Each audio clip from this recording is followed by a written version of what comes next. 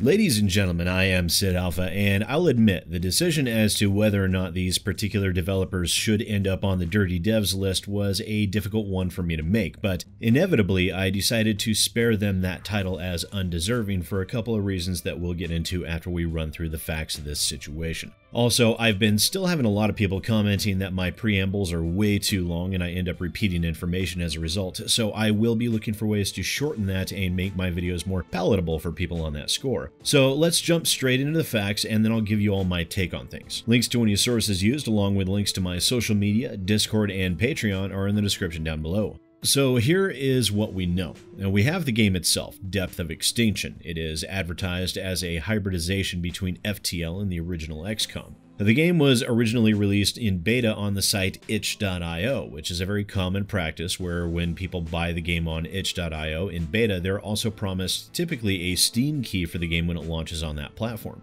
Such is the case with the Steam user Ryan Dorkowski, who bought the game on itch.io and received a Steam key for the game all above board and all very standard. Ryan Dorkowski then played the game and found that he didn't really care for it and left what seemed to be at face value to be a negative but ultimately very constructive user review on the game. Now, in response to this negative critique, the developers revoked Ryan Dorkowski's Steam key for the game. Now, bear in mind, this was not a review code for the game. It wasn't a free key. It was part of the purchase made by Ryan Dorkowski. Now, how this works is the developers generate beta keys for the game that they then provide manually to those that purchase the game on itch.io. As no other keys were revoked, this means that the developers kept careful records of what keys were generated and provided to their customers, which is normally a smart thing to do. Then on October 5th, Ryan Dorkowski posted a statement on the game's Steam discussion thread, which he updated as events unfolded. Now, in that statement, Ryan discussed how the beta key was provided to him via his itch.io purchase and asked the question as to whether or not the Steam key was revoked as a result of his negative critique. He then later edited the post with a copy paste of an email he received from the developers in which they stated, Sorry about that, but I thought you weren't interested in playing the game. And also stating that a new key could be provided if Ryan were interested in playing the game more and providing feedback. Now, to this email, Ryan rightfully responded that he still required the key he had paid for and that feedback was not a requirement of the purchase of the game. Ryan then further updated his post stating the developers had provided a new key for the game and then followed that up with an apology which was accepted by Ryan. The developers then commented on the thread stating they screwed up,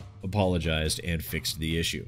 The developers then stated, quote, locking this thread but leaving it up as a testament to Ryan's understanding and character. And there we have it. And before I started recording this, I was very much of two minds regarding whether or not these developers deserved to be added to the already too long list of dirty devs. The reason why they nearly ended up on this list should be fairly obvious. In the face of what appeared to be fairly constructive criticism, the developers still acted like pissy little children throwing a temper tantrum and revoked a key that was paid for in good faith. Also, when initially confronted about their exceptionally bad behavior, the developers continued to act in a deplorable manner by figuratively stating, hey, you said the game sucked, so why would you even want to play it anymore? Now, let me be clear.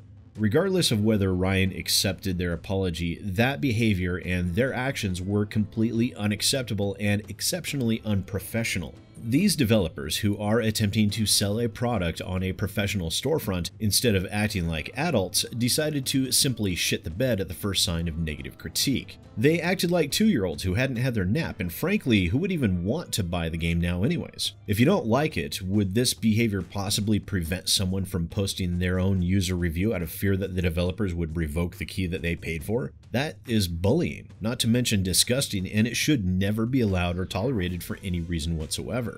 But at the same time, do they end up on the Dirty Dev series? No.